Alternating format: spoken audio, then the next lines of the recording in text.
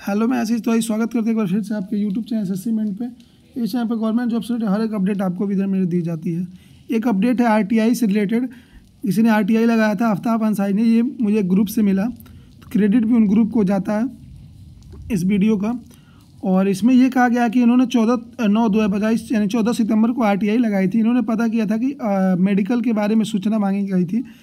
तो उन्होंने यही कहा है कि आपकी जो मेडिकल की प्रोसेस है वो भर्ती बोर्ड की नहीं है। भर्ती बोर्ड केवल चयन प्रक्रिया संपादित करता है, जैसे एग्ज़ाम का रिज़ल्ट रिज़ल्ट हो गया फाइनल रिज़ल्ट हो गया डिक्लेयर कर दिया। बाकी जो चीज़ें हैं, वो उसके द्वारा नहीं की जाती है तो ये सूचना ऐसी स्थिति में आपके द्वारा मांगी गई सूचना बोर्ड से संबंधित नहीं है। जैसे आप सीपीओ में देखेंगे जीडी में देखेंगे, होता क्या है कि सीपीओ हो गया जीडी हो गया, इसमें क्या करता है एस क्या करता है, बस आपका रिज़ल्ट दे देगा। बाकी उसको, बाकी की जो प्रोसेस होती है, जैसे फ़िज़िकल हो गया, वो जैसे सीआरपीएफ करा दिया एसएसबी करा दिया है, जैसे C A P F conduct कराती है। सेम उसी तरह इसमें भी है, केवल इसमें यही चीज़ें हैं कि वो आपका रिज़ल्ट दे देगी, बाकी इनके पास कुछ अधिकार नहीं आगे का। बाकी आगे एग्ज़ाम्स भी लगे हुए हैं, आपकी सी का एग्ज़ाम लगी है सीजीएल का एग्ज़ाम लगा है।